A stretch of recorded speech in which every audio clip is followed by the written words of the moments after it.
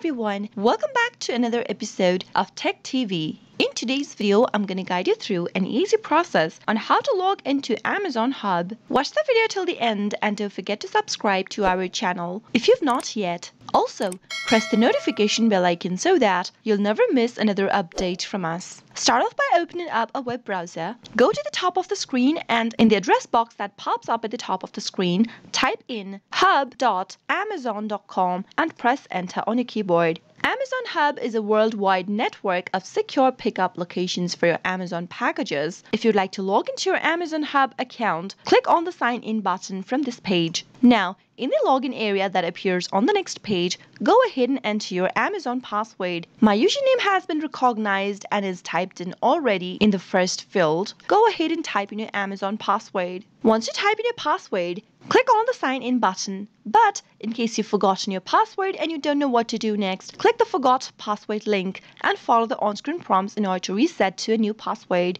If you'd like to stay signed in with Amazon Hub account in the particular device, click on Keep Me Signed In box. But if you're using a public device or a shared computer, leave it unchecked before logging into your account. Finally, after you're done typing in your details and all of your credentials are correct, click the Sign In button in blue and that way you'll be able to log into your Amazon Hub account right away using your computer. That is how you'll be able to get access to your Amazon Hub account right away from your computer. I hope the tutorial was helpful to you. If it was, go ahead and give us a thumbs up. I'll be back soon with more tutorial videos like this. Thank you for watching.